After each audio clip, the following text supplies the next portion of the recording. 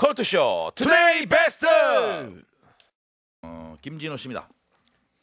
말로만 듣던 지하철 변태. 궁금하네요. 퇴근 시간 사람 많은 지하철을 타고 가는데 누군가 제 엉덩이를 철썩하고 찰지게 때렸어요.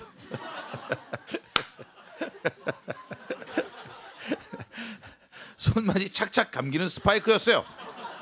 순간 놀라 주위를 둘러봤죠. 이것이 말라만 듣던 지하철 성추행인가? 내가 지금 변태한테 당한 건가?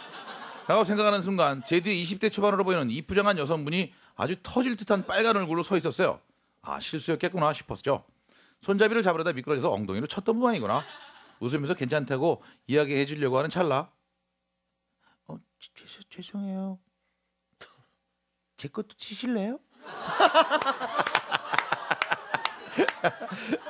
웃기기도 하고 황당하기도 하고 말문이 막혀 서 있는데 그때 옆에서 모든 상황을 지켜보시던 할머니가 아이고 처자가 참 공평해요. 안막 그래야지. 모르는 총각 궁둥짝을 후려쳤으면 말로만 하고 싹싹 입 닦으면 안 되는 법이지.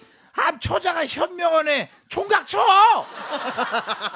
오지랖 넓으시고 목소리 크신 할머니는 한참 여자분을 칭찬하시더니 절 향해 아 총각 시원하게 한대 치고 초자를 용서해 주라니까 어느새 저는 꼭 한 대를 쳐야 될 것만 같은 분위기가 됐고 전할수 없이 여자분들께 이렇게 말했어요.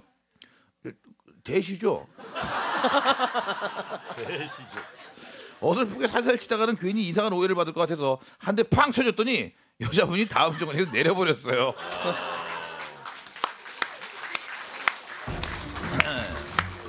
야 이럴 수도 있군요. 오늘 질- 전반적으로 재밌네요. 8만 원 드리겠습니다. 저도 팔이요. 화려. 8만 원입니다